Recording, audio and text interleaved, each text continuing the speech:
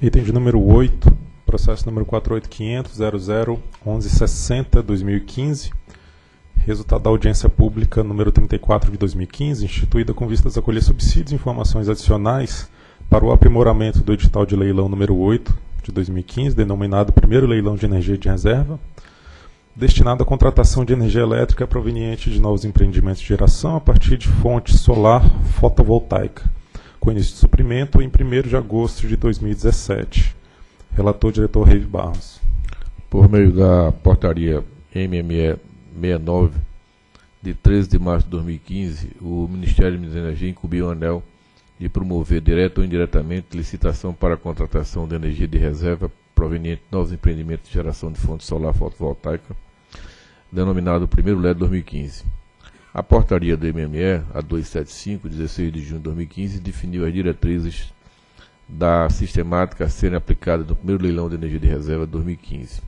Em 2 de junho de 2015 foi aberta a audiência pública com vista a obter subsídios para o aprimoramento da proposta de edital e respectivos anexos do leilão 08-2015. A AP foi realizada no período de 3 de junho a 3 de julho de 2015 por intercâmbio documental. As contribuições foram analisadas por meio da nota técnica número 31 é, da Comissão de Especial Licitação de 27 de julho de 2015 e a 118 da SRM. Mediante a nota técnica 190 de 23 de julho de 2015, a SGT propôs os valores das tarifas de uso do sistema de transmissão TUST e das tarifas de uso do sistema de distribuição TUSD G de referência para as centrais geradoras participantes do leilão 08-2015. Destaca-se que, por meio do ofício 160, o Ministério da Energia, em 27 de julho de 2015, a Secretaria Executiva do Ministério da Energia informou os seguintes parâmetros a serem aplicados ao leilão 08-2015. O custo marginal de referência do leilão é, R$ 349,00 por megawatt-hora. O preço inicial do produto por quantidade na fonte solar fotovoltaica, R$ 349,00 por megawatt-hora. É o, o, o relatório. Procuradoria. A Procuradoria vistou a minuta de resolução homologatória, a qual está em condições de ser deliberada pela diretoria. Trata-se da aprovação do edital de respectivos anexos do leilão número 8 de 2015, denominado Primeiro Leilão de Energia de Reserva 2015, destinado à contratação de energia de reserva proveniente de novos empreendimentos de geração de energia elétrica de fonte solar fotovoltaica, para início de suprimento em 1 de agosto de 2017, cujas minutas foram submetidas à audiência pública 3415. As principais diretrizes do Ministério da Energia são: é, primeiro, será realizado no dia 28 de agosto de 2015, restrito a empreendimentos solar fotovoltaicos, serão negociados contratos de energia de reserva na modalidade por quantidade de energia com prazo de suprimento de 20 anos. O início do suprimento de energia elétrica ocorrerá em 1 de agosto de 2017.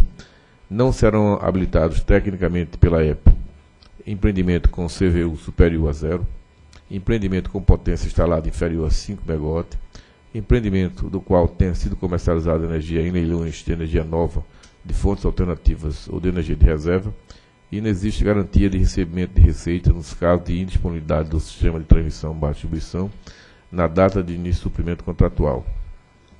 A época cadastrou é, uma certa quantidade de empreendimentos e aí nós apresentamos no quadro é, a seguir por estado. Né? Na Bahia nós tivemos 140 é, empreendimentos cadastrados com a potência total de 4 mil 409,2 megawatt pico.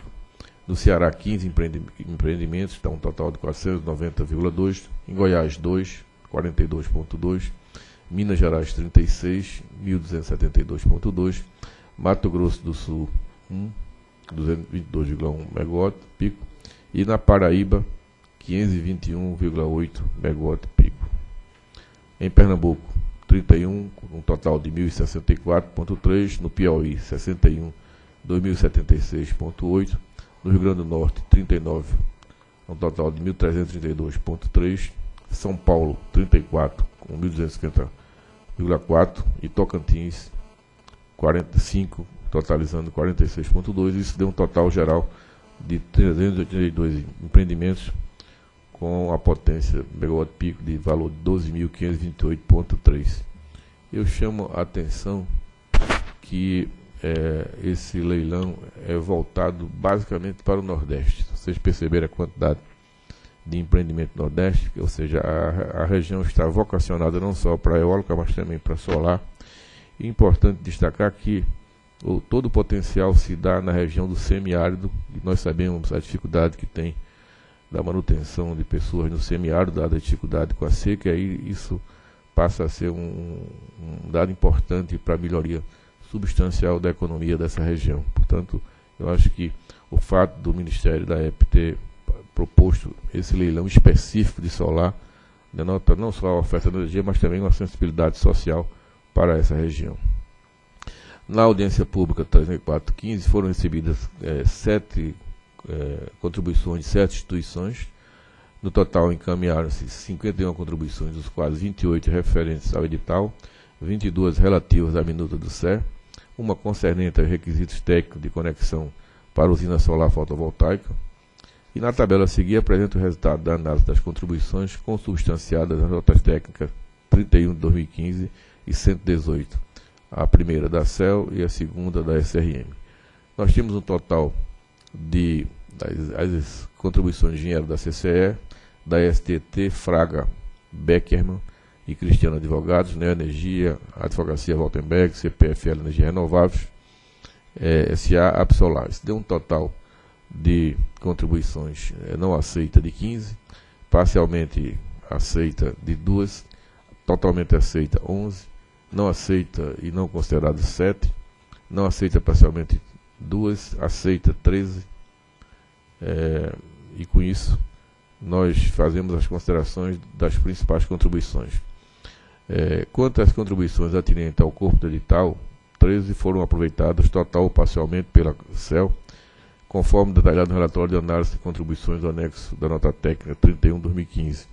Tais contribuições se relacionam ao aprimoramento no texto edital, sem alterar na essência o conteúdo submetido à audiência pública.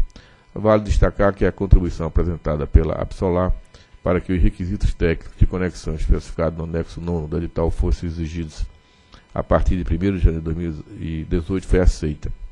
E, nesse sentido, foram especificadas no edital as seguintes condições. Os item 3.3, os vendedores deverão atender integralmente aos requisitos técnicos para a conexão especificada no anexo 9 deste edital.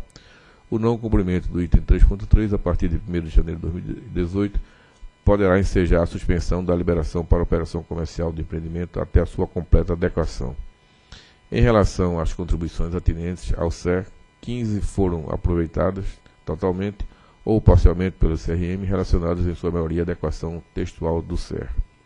Dentre as contribuições acatadas pelo CRM, destaca a inclusão da subcláusula 3.3.3 no SER, pelo qual a energia gerada durante o período de antecipação do suprimento ou seja, antes de 1 de agosto de 2017, não será computada na conta da energia.